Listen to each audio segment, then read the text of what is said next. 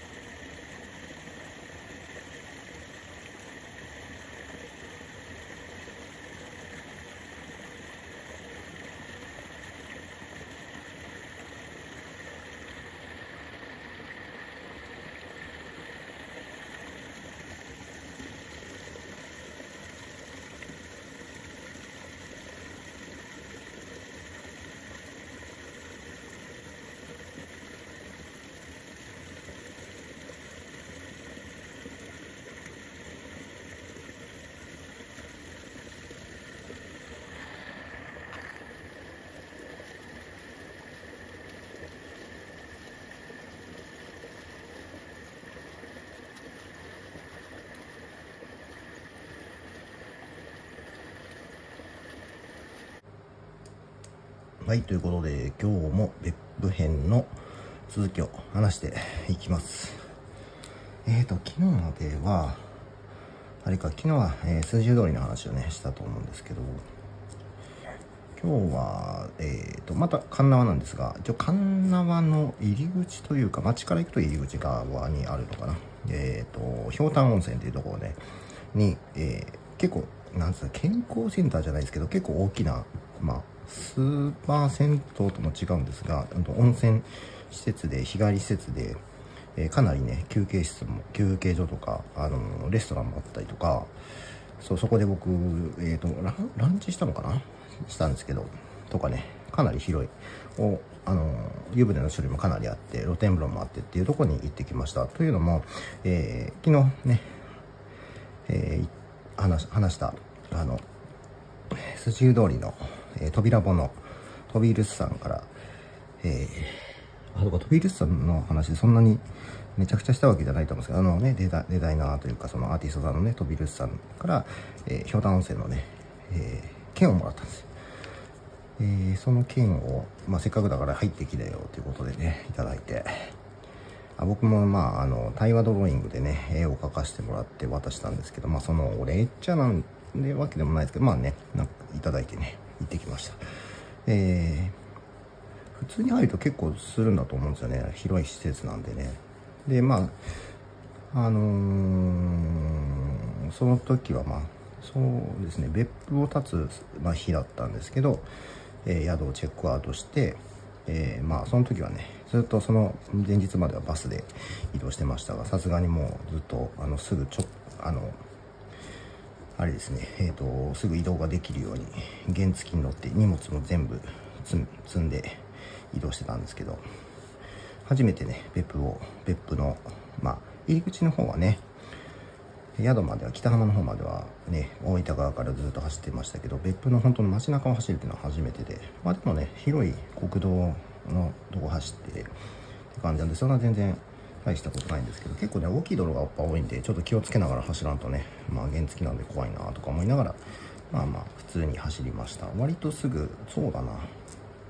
10分15分ぐらいで着くかな原付やったら。もうちょっとうん。結構まあまあ距離はあるんですけど何キロぐらいあるのかな ?4、3、4キロぐらいあるんかな。ちょっとすいません。あの今ちゃんと測ってあの調べてなかったんで申し訳ないですけど。まあそれで行ってきて。でその後はえー、まあ12時間いなかったかな。でその後はえっ、ー、とあれですね。その後はあのまあ公営のね駐車場の駐車場しても二輪用のスペースがどうかわかんないので端っこの方に止めてで歩いて S 字通りを上がってってまた扉を行ってちょっとこう行って入ってきました。ありがとうございましたって俺方で言ってね。まあそれでその後はいろいろと散策をしたんですけど。そうですねその神長のあそうちょっとこう上の方上がってったりしてなんかこう石段石段とか階段上がってってお寺のとこあるんですけどその敷地上がってってちょっとこう上がっていくとかなりね景色が観音の眺めがすごく良くてね煙が煙というか、あのー、水蒸気か まあもくもくと上がってる様子が見えて、まあ、その写真も見てもらったと思うんですけどね。うわこれはいいやと。カンナはいいやと思ってねえー、まあぐるぐると散策をしたわけなんですけどね。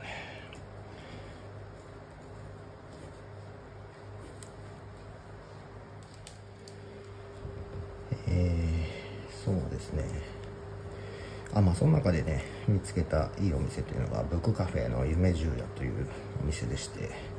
筋湯通りの、まあ、突き当たりになるのかな？にあるんですけどね。えー、まあ落ち着いてすごく何食べたっけな？なんかなんだかなトースト的なのを食べたと思うんですけどね。すごく落ち着いてもういやで時間に余裕があったらもっと長いしたかったなっていう感じですごいいい感じのお店がありました。はい、うん、そこもね飛び入るさんにおすすめされたところなんですけど、まあ、他にもねいろいろとね見切れないというかねまあ観覧は多分1週間ぐらいとか最低でもまあていうか観覧はだけで何日か滞在した方がいいなっていう考えてみたらほぼほぼ観覧はですもんね。泊まったのはね、えー、北浜の方ですけど駅の方ですけど。うんやっぱりなんか面白いなんていうかな。その見るとこというかお風呂もそうですけど温泉もね入るとことか。まあ他にもいろいろ回れるんでしょうけどやっぱ観覧がメインになるなっていうのはすごい感じましたね。うん。そうだからやっぱねあの辺、うん、当時暮らしは正直ねすげえ悩んだんですけど今もねちょっと行ってみたいなっていう。まあ住むかどうかは別として、まあ、もちろん別途にまた行く時には必ず行くでしょうね旦那は、うん、そのくらい魅力のある。なんていうかもう路地とかもそうだしもう全部あそうそうあとはあつの湯っていうのかな。あのただで入れる公衆浴場も結構ねあのー、あれその後ね草津とか行ったらもちろん無料の公衆浴場っていうの共同浴場っていうのを、あの、見つけたりしたんで別に不思議ではなかったです。その時は結構タダで入れるのが衝撃的でね。っていうかその辺の地域多分あのそれこそ蛇口ひねるとお湯出るんじゃないかみたいな。あの前からね別府ってその公民館でこう運営してる温泉があるみたいなの聞いたことあったんですけどこれかなみたいな。本当に近所の近所なのかな？あの本当おばあちゃんとかがね入ってく様子とか見たりとかしてね。すげえなんかうわいいなみたいな。これが別府かみたいな風に思ってました。そうねちょっと話尽きないんですけどね。かなりね。そんな感じで。えー、ちょっと今パッと出てるのがそんな感じのことなんですけど。そうだなもうちょっとこう掘り下げて話した方がいいんかな。うん。パッと出てこないのが申し訳ないですけどね。